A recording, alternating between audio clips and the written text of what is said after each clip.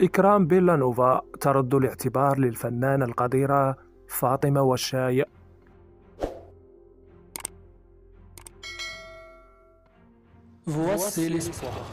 بعدما تعرضت الفنانة القديرة فاطمة والشاي لانتقادات لاذعة سابقا من طرف رواد مواقع التواصل الاجتماعي بسبب حديثها عن قضية إكرام بيلانوفا حيث اتهمها البعض بمحاولة الركوب على الموجة خرجت المدونة المغربية إكرام بيلانوفا برسالة شكر للممثلة المغربية فاطمة والشاي التي حرصت على الاطمئنان عليها أثناء تواجدها بالمستشفى بسبب الاضطرابات النفسية التي كانت تعاني منها.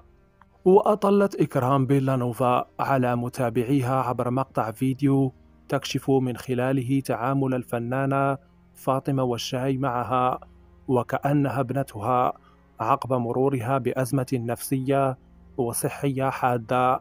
وقالت شكرا للفنانة الكبيرة فاطمة والشاي اللي كانت ديما كتعيط ليا وكانت هذه الرسالة المصورة بمثابة رد اعتبار للفنانة القديرة فاطمة والشاي بعدما تعرضت للهجوم على مواقع التواصل الاجتماعي.